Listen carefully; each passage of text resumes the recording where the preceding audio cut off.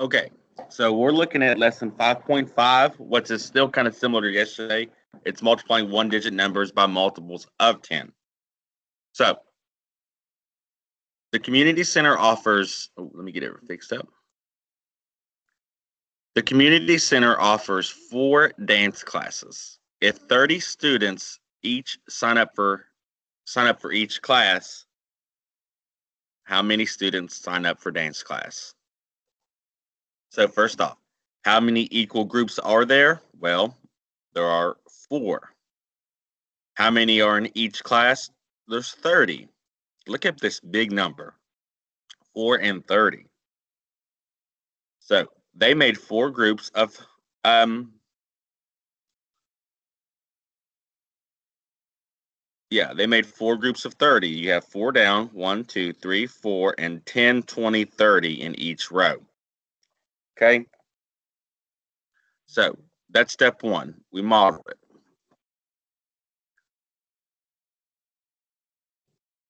Step two combine the tens regroup the 12 tens.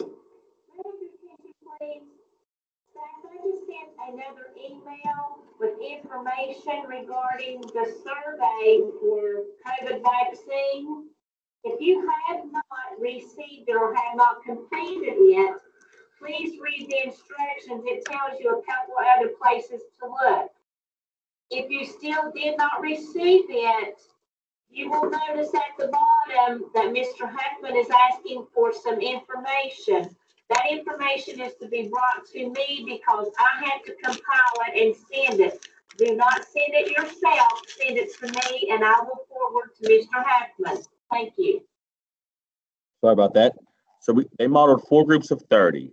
Now it says combine the tens group, regroup the 12 tens and 100s. So when you combined it, you're going to have 12 tens and 100 or 12 tens we have 110, 210. These we have we have 12 blocks. So that gives us 12 tens.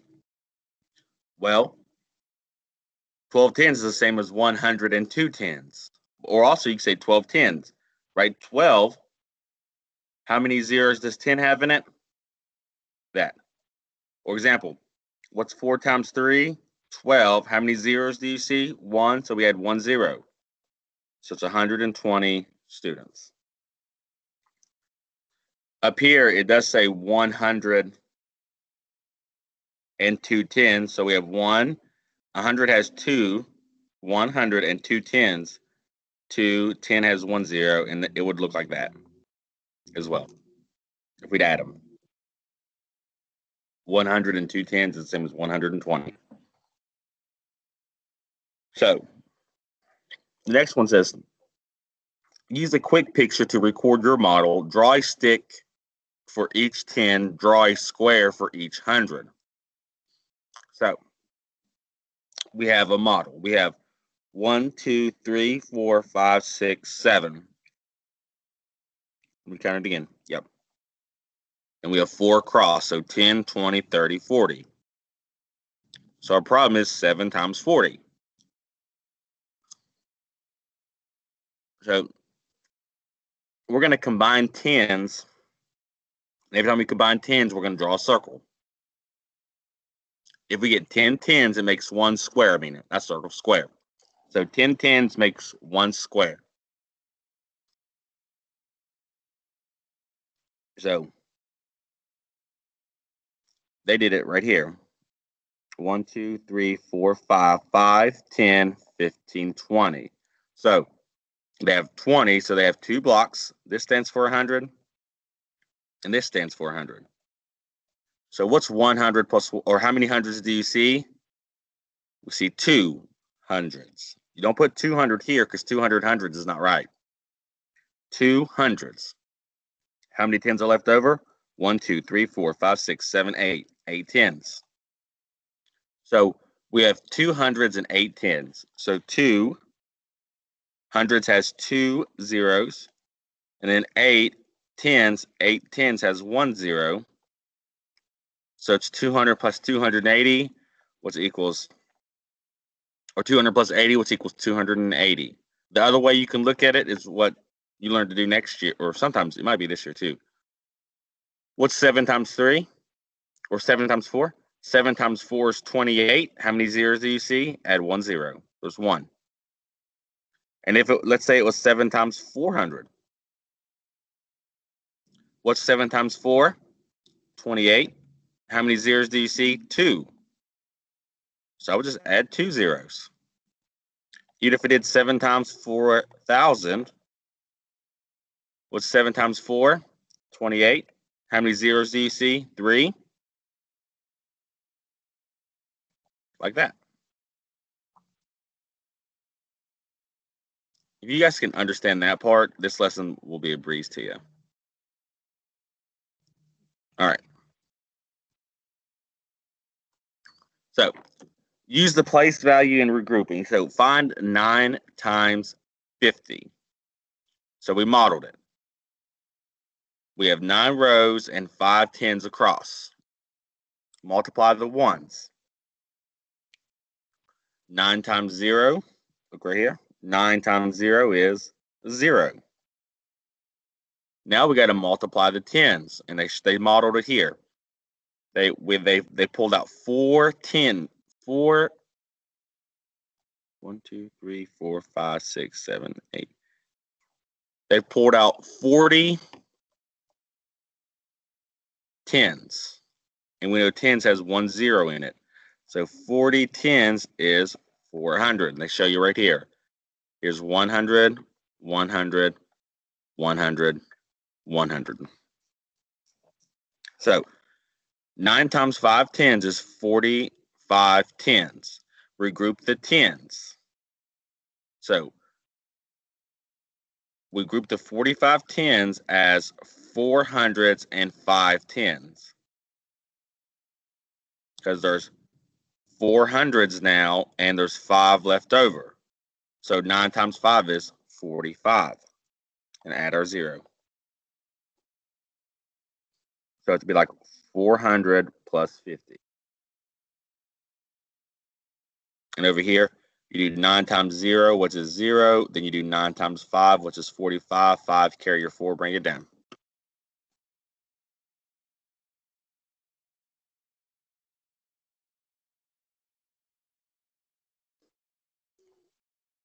The next one, use the quick picture to find 5 times 40. Well, they made their tens. So we have 1, 2, 3, 4, 5, 5, 10, 15, 20. So if you if you have to circle, and for every 10 you circle, so we have two circles, which is 100 squares, I'm sorry, 100 and 100. 100 and 100 make 200.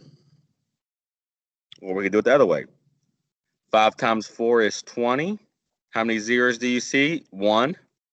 Add it because that 0 and 20 does not count. The 0 and the 20 does not count.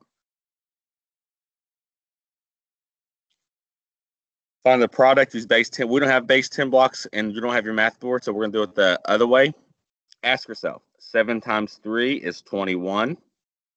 How many zeros do you see? 1. 9 times 2 is 18. How many zeros do you see? 1. 180. 8 times 4 is 32. How many zeros do you see? 1. Add our one zero. Lastly, 6 times 4 is um, 24. How many zeros do you see? 1. Add our one zero.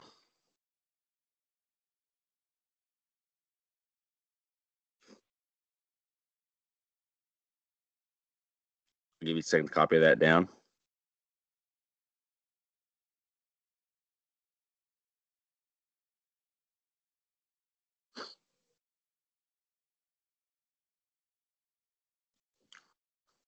All right, next. It says find the product. So this is in steps. We got to, it's kind of like addition we got to do the first number, then we do the second number. So we know for a fact 9 times 0 is 0. And then 9 times 8, what's 1 less than 8? 7. 7 plus what makes 9? 2. So it's 72. So it's 2, 7. So it's here to here, then here to here. Okay. 7 times 0 is 0. 7 times 7 is 49. So 9, 4, 49. 4 times 0 is 0.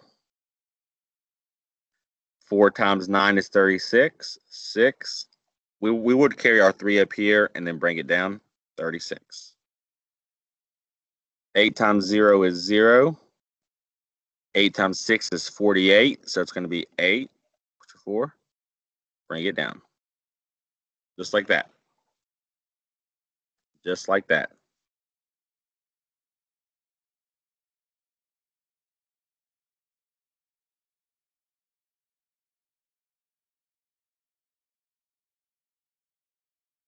Next. All right, seven times two, two times seven, we know is 14. We have one zero. Eight times five is 40. How many zeros do we have? One. So add it in there. Nine times three is 27. And then we have the one zero. Two times eight is 16 with one zero makes 160. Three times zero is zero. Three times eight is 24. Four, your two would go up, and then you just bring it straight down. Nine times zero is zero. Um, nine times six is 54. So four, bring your five up. If we'd have another number here, you'd have to add that five but we don't. So bring it down. 8 times 0 is 0. 8 times 9 is 72. 2. Bring it down. 8 times 0 is 0. 8 times 8 is 64. So it's 4. Bring 6 and carry it down. And let's say, let's just say this was 81 for a second it would look like this. 8 times 1 is 8. Then 8 times 8 is 64. So it would kind of look like this. Okay. Some people get comfortable with that zero, no matter what this number is, that they will they'll always put a zero here. And I want you to understand it's not always a zero, but in this instance, in this lesson, it will be. Um, six times seven is 42. We have one zero, so we're going to add one zero. 9 times 9 is 81. Has one zero, so we're going to add one zero. 7 times 8 is 56. It has one zero, so we're going to add one zero. And 9 times 7 is 63. And it has one zero, so we're going to add one zero.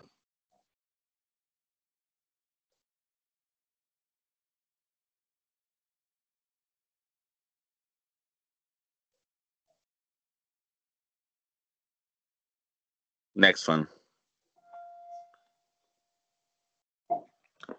A times 80 equals 480. We'll ask ourselves, we already have our zeros. Okay. So what, what we're really looking at is, what times 8 is 48? It's 6. B times 30 equals 30. So we already have our zeros. So now looking at what times 3 equals 3? 1.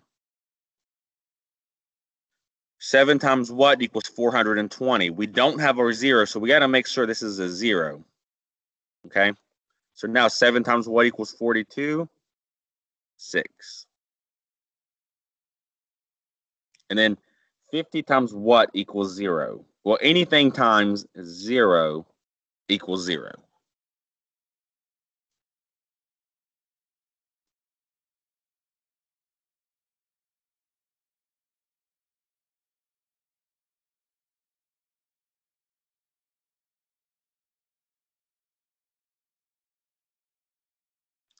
All right.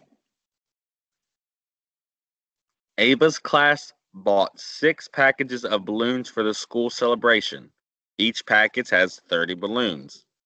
If 17 balloons were left over, how many balloons did they use for the party? Well, first off, we had to find the total number of balloons they had.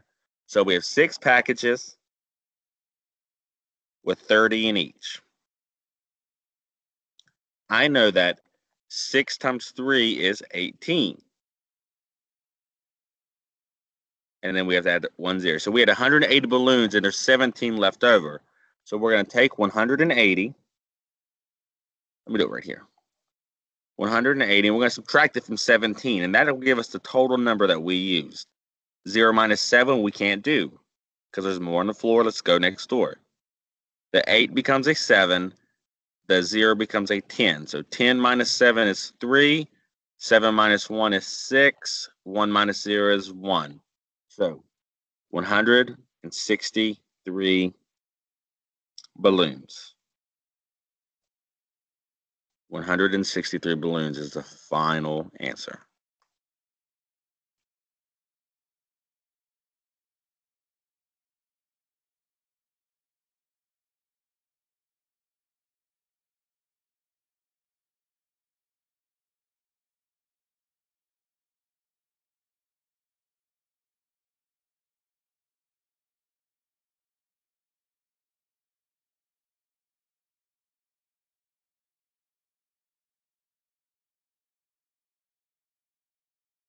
All right.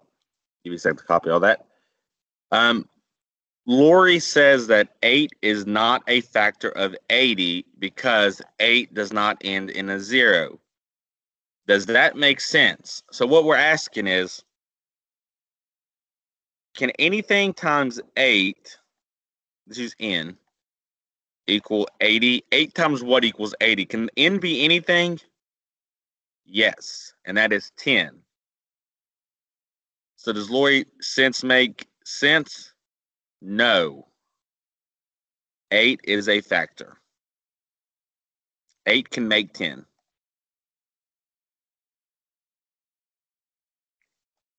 So if you have this problem right here, this equation, and this sentence, you are right. Eight definitely can make 80. The book club members read 200 books in all. Each member read five books. Write an equation to find the number of the books, the number of members in the book club. Use a letter to stand for the unknown factor. So we're going to just write an equation. So each member read five books, and they've read a total. So five we already have our total, so times n equals 200. We got to find out what n equals. Well, ask yourself, 5 times what equals 20? If we skip count, we have 5, 10, 15, 20. So it's 4. So we we we got that out of the way, and we got to add our one zero. So 40 members. There's 40 members.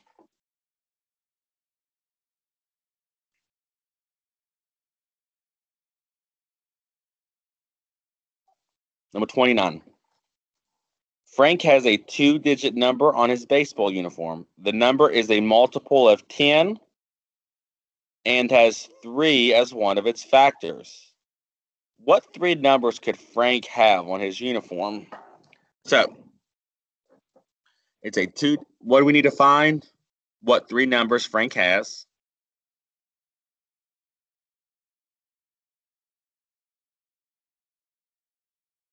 What three numbers Frank has? He has a chance of having three numbers.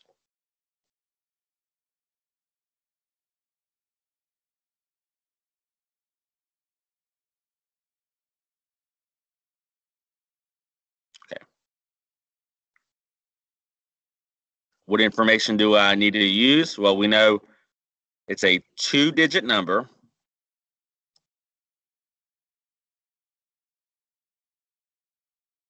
It is a multiple of 10.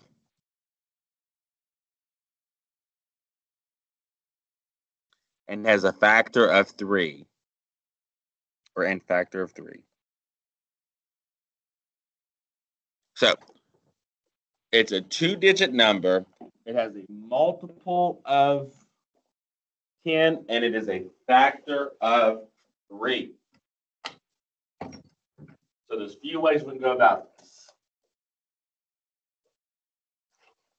A few ways. Is asking how can we solve this problem? And we'll talk and we'll uh, go through it. So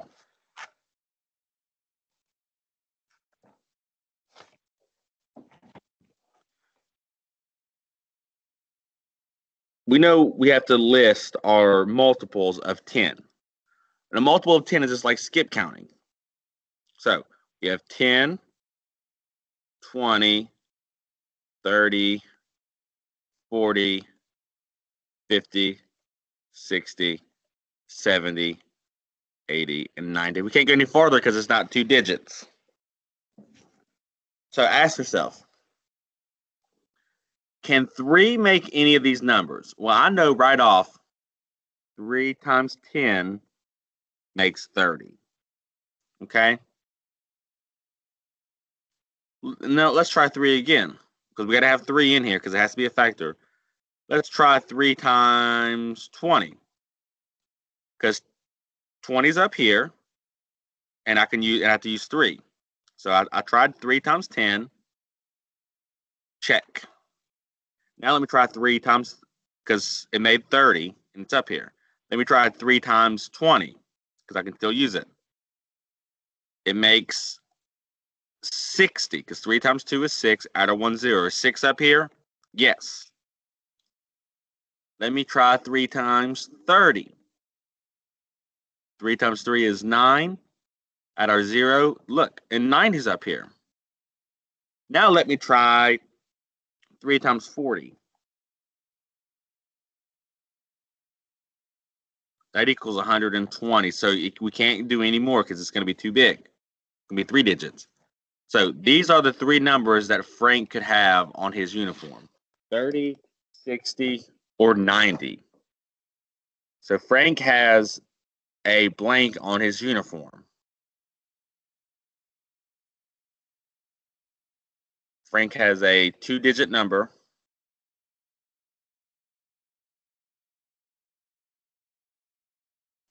Two digit number on his uniform. The number is a multiple of 10 and has a factor of 3. Remember, 3 has to be able to make it.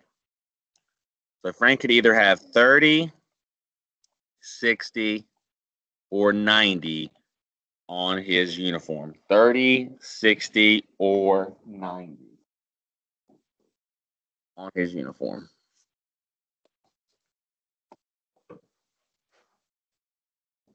I know that's a pretty big problem.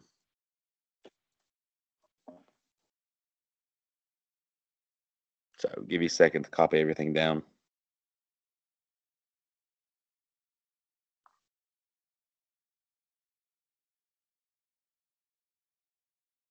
All right.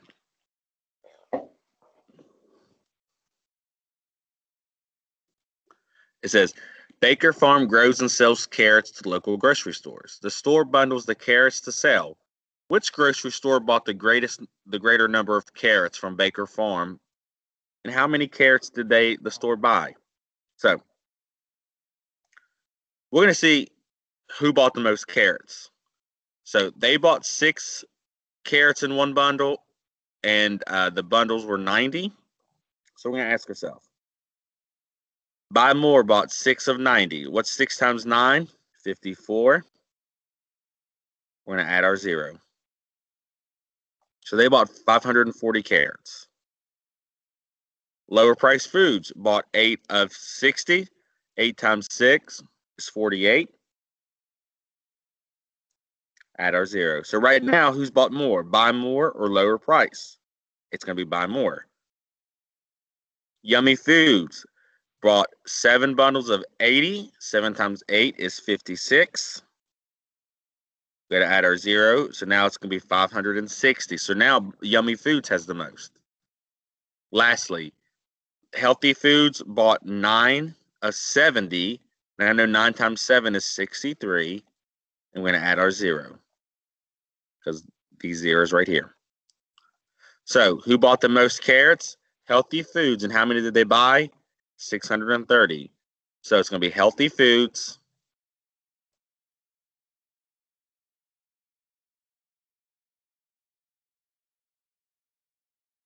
With 630 carrots. Healthy foods was 630 carrots. The least amount was lower price foods. The Buy More and Yummy were right in the middle. So healthy foods was 630.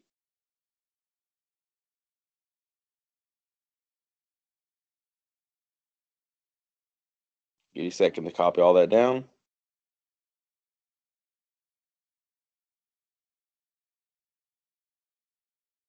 All right. Um, these they want you to kind of do it like this, like 60 times 30. So we're gonna have to do like three down.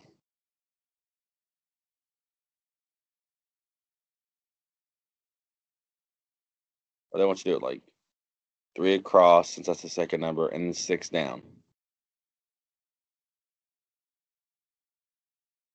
Four, five, and six. So they want you to bundle these. So like 1, 2, 3, 4, 5, 6, 7, 8, 9, 10, 11, 12, 13, 14, 15, 16, 17, 18. So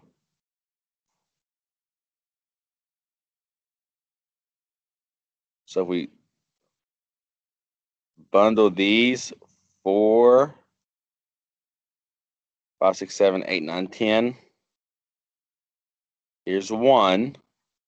This makes 100 with 10, 20, 30, 40, 50, 60, 70, 80 left. And we know 6 times 3 is 18, add our 0. Same thing here. We have 5 down and 6 across. So 1, 2, 3, 4, 5, 6. 1, 2, 3, 4, five, six. One, two, three, four, five, six. One, two, three, four, five, six. One, two, three, four, five, six. So they want us to circle every 10. So one, two, three, four, five, six, seven, eight, nine, 10. So I'm going to circle this. Makes 100. 1, 2, 3, 4, 5, 6, 7, 8, 9, 10 makes 200. 1, 2, 3, 4, 5, 6, 7, 8, 9, 10 makes 300, and there's none left over. So final answer is going to be just 300.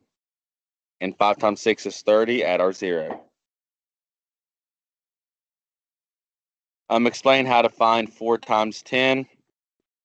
You guys can do it really like this. Um, you could do four times or four times 80 four was broken up into four times eight. Um, which equals 32 and then add the zero.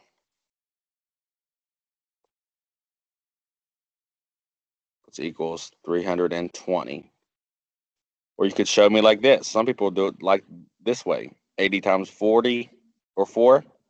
4 times 8 is 0. 8 times 4 is 32. 2, carry your 3. Either one will work. On the back, uh, I'll put this on Schoology um, so you guys can complete it. Other than that, you guys should be good. Have a good one.